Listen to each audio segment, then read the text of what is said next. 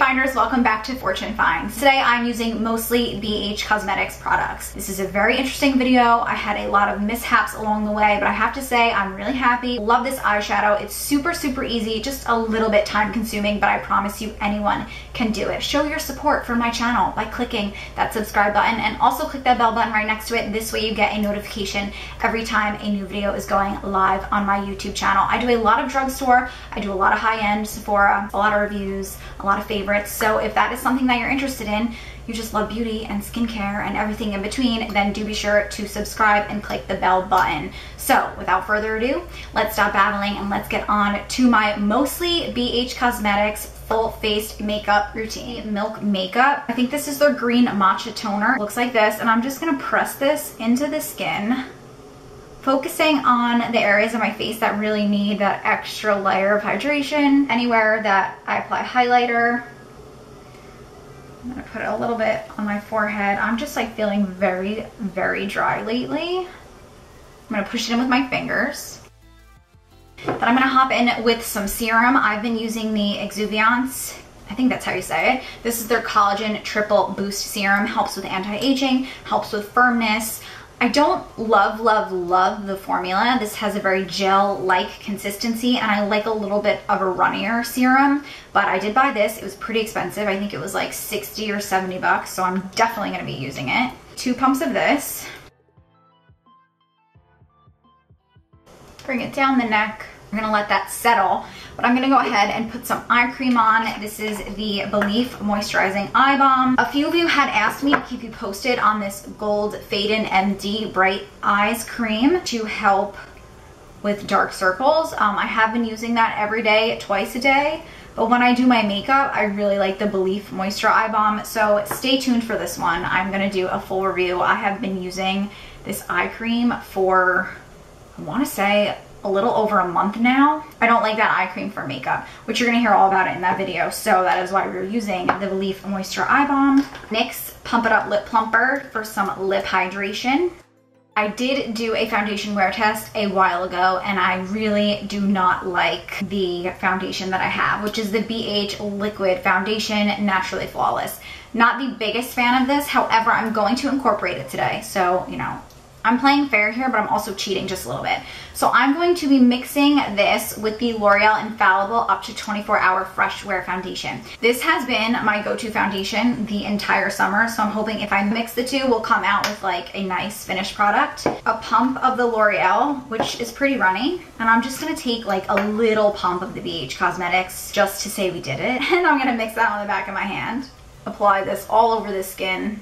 I just bought the Anastasia Beverly Hills, her new liquid foundation. Oh my god, I'm so excited to use it. I'm gonna do a full day wear test with you guys, so stay tuned for that. Make sure the bell is rung so you get a notification when that goes up. I'm gonna take this EcoTool sponge, one of my favorite sponges. I'm gonna take whatever left on the back of my hands and I'm just gonna pounce this into the face.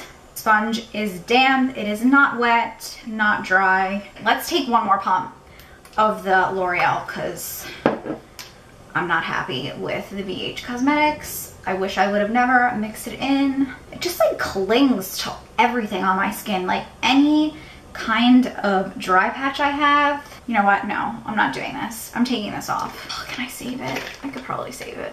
All right, let's try and save it. And then if it's a fail, we'll just wipe it off. I'm going to take my Morphe Continuous Setting Spray and pray to Jesus up above that this works hopefully make it a little less cakey because it looks like I'm wearing a ton of makeup right now. Ugh.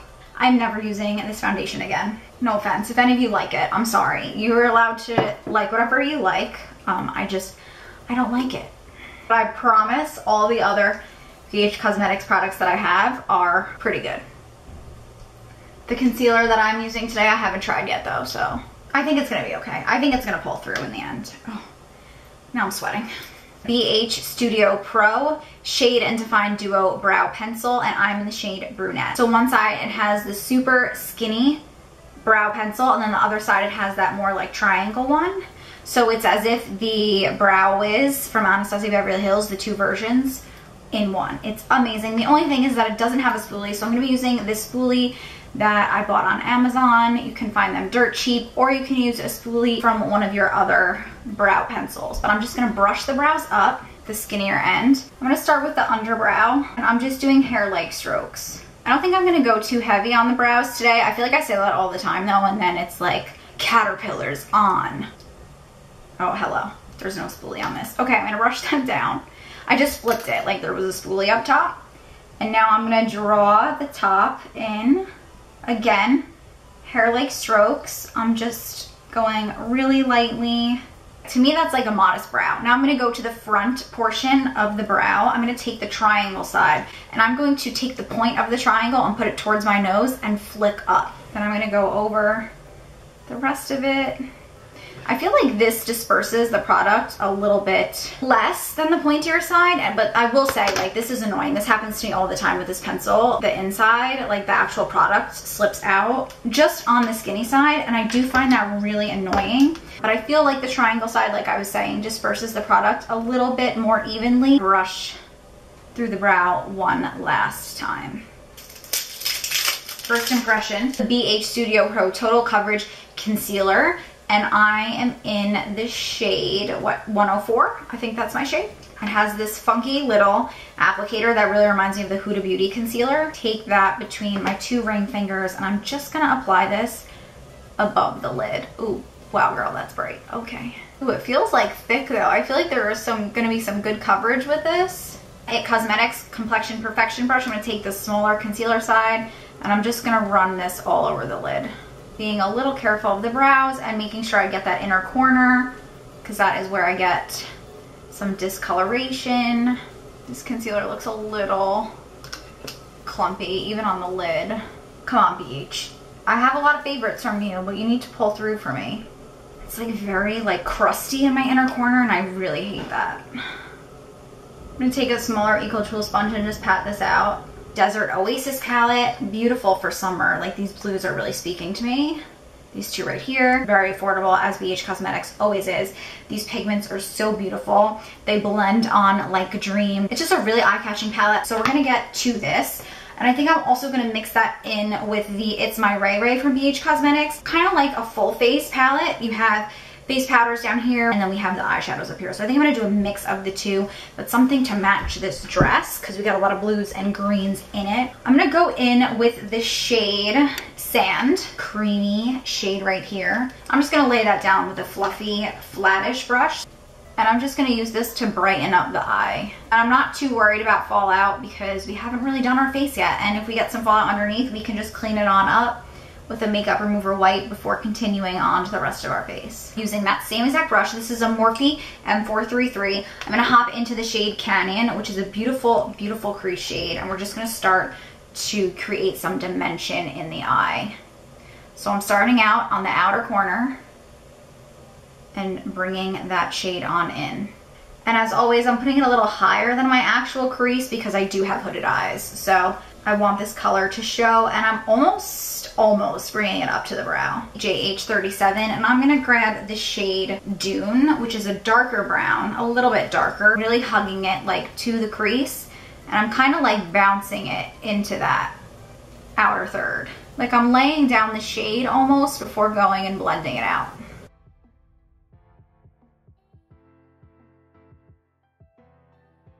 I'm kind of just like pressing it and pushing it towards the inner tear duct. It's so versatile, this palette, it's nuts. You can use these four mattes for a more neutral look, but then you have so many shimmers to like play around with. This palette is like unbelievable. Now for blending purposes, I'm going to hop back in with that first brush that we used. I'm not putting any additional product on this, and I am just blending it out, like touching the shadow ever so slightly in little circular motions, and I'm just blending both of the colors together. Wow, this is like a beautiful base. I'm so happy with how this came out already. All right, so the eyeshadows are redeeming for the Scary Concealer and Foundation. I've known that I don't like this foundation, so it's not a big surprise. I did do a wear test, which was highly entertaining because you guys know it kind of is a little funny when I don't like a product. Um, I will link that up here if you guys want to check out the full day wear test. I didn't like it, so you really don't even need to watch it, but if you wanted to, just a thought.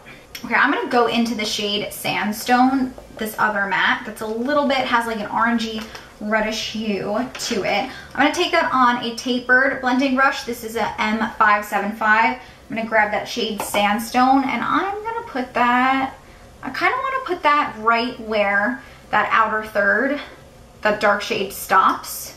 So I'm kind of just laying this on the lid, like right here.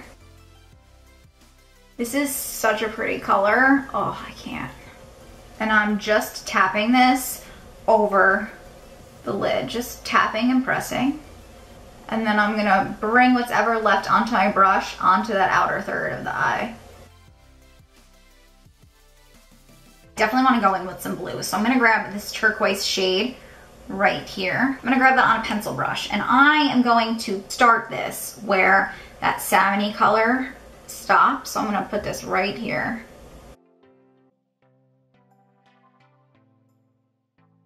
And I'm kind of brushing it slightly over that salmon color so it blends nicely. And I'm bringing it into the crease just a little bit.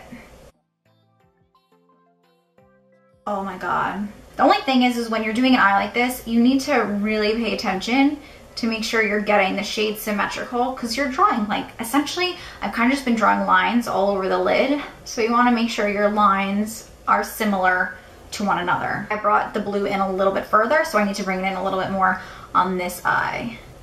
Flat brush, this is a JH41.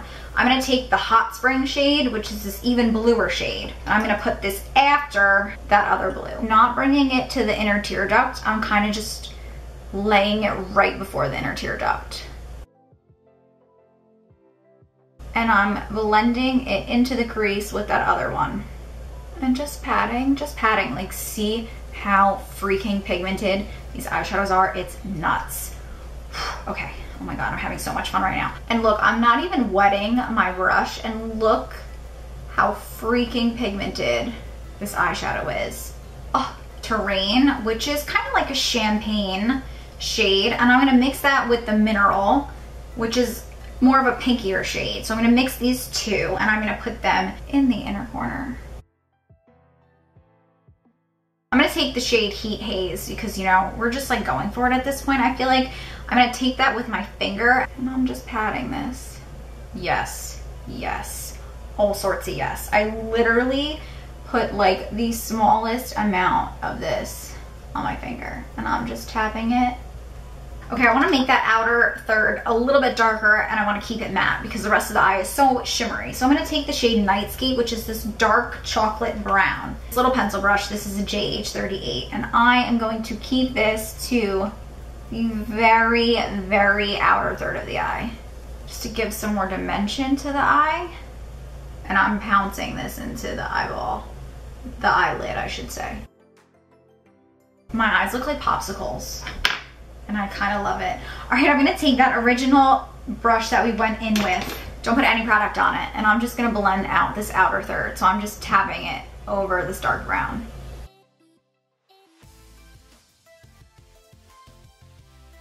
Moonscape, which is this yellow shade right here. I'm gonna take this on a lip brush, and I'm just gonna put this underneath the brow bone.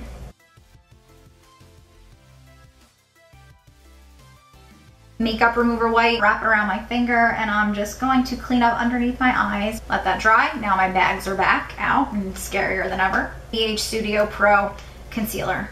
I wanna make this a little bit friendlier for my eyes. I took about this much concealer on the back of my hand. I'm gonna take a flick of my Belief moisturizer, put that in a different location on my hand, rub that in, and then I'm gonna take this concealer and rub it in to the moisturizer we're gonna see what this does.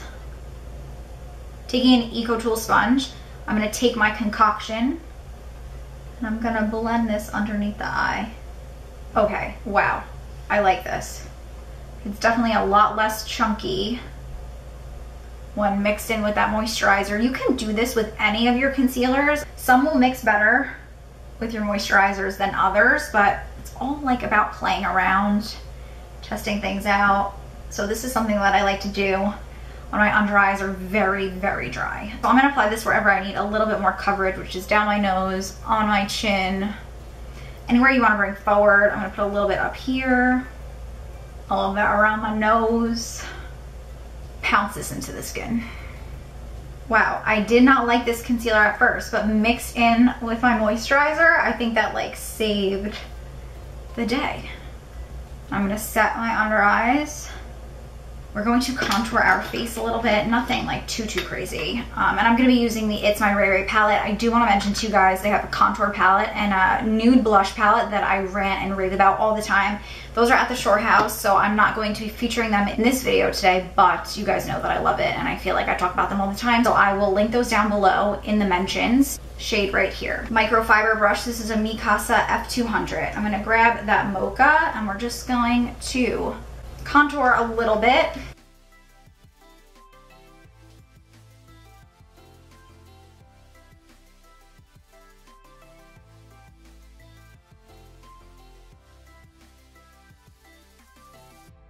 I'm gonna go ahead and bronze the face. I'm using this really fun Sephora Pro fan brush and my favorite bronzer from BH Cosmetics and my favorite bronzer at the moment across the board. It's an amazing bronzer. Brilliance bronzer in the shade Golden Gal. And I'm just using this to really bronze up the skin. Love this brush because it kind of just like bronzes the skin so fast because it's so big and it's just like so much surface area.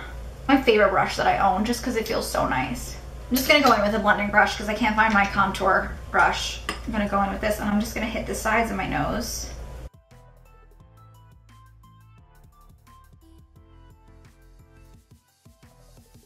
Now, I'm gonna do this thing that I've been doing recently. I don't have a blush from BH Cosmetics, but I have a liquid lipstick that I've been using a lot. Carin, I use this as a blush more than I use it as a liquid lipstick. So I'm gonna take the wand, put some on the back of my hand. I'm gonna put a dot here and a dot here.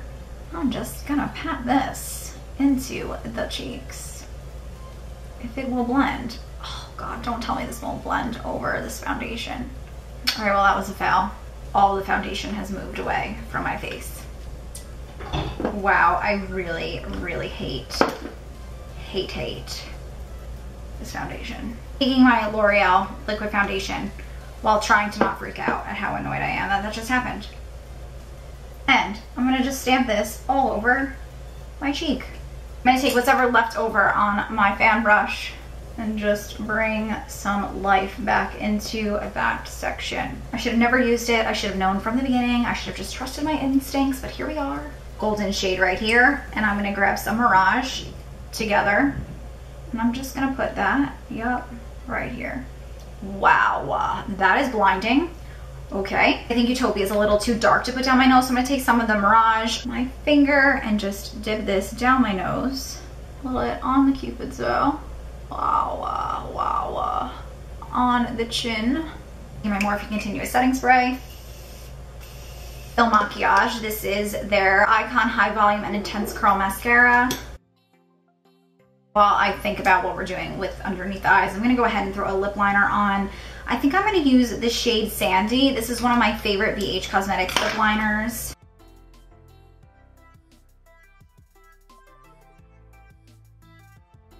Vania. This is a BH Cosmetics liquid linen lipstick. And these liquid lipsticks are pretty long lasting. They will definitely stay on for hours. And I love this shade. It's like the prettiest nude.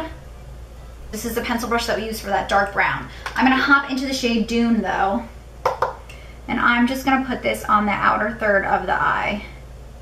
And I'm bringing it in. Oh, love it. Okay, now let's throw on some mascara. Should we make our lips a little bit poutier? Okay, and then we're done. This is the shade Carin that we tried to put on our cheeks and that was an epic fail. I'm just gonna put this in the middle of the lips. Blends out with the fingers.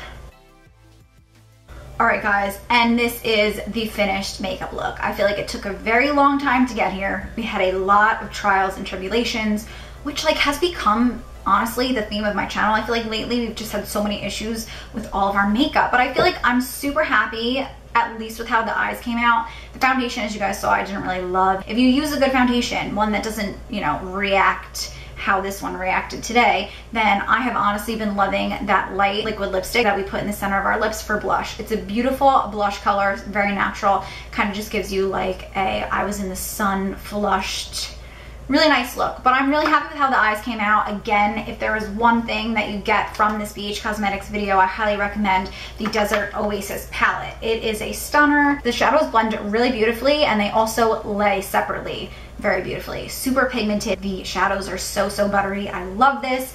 And honestly this the brilliance bronzer whoa. And the shade and define eyeshadow pencil are my favorite BH Cosmetics products that I use on heavy rotation. I literally use this bronzer almost every single day and this is by far my favorite eyebrow pencil. I really hope that you enjoyed this video. I hope that it wasn't a complete and total uh, hot mess video as I anticipated being. But if you did enjoy this video, um, or you simply feel bad for me that I struggled so much in this one, then be sure to give it a thumbs up down below. Also, if you're not yet subscribed, please be sure to do so. I would love to have you and be sure to click that bell button right next to the subscribe button. This way you get a notification every time I'm uploading a video here on my YouTube channel. Thank you guys so much for joining me. I had a great time as always, and I will see you in my next one. Bye, Finders. Mwah.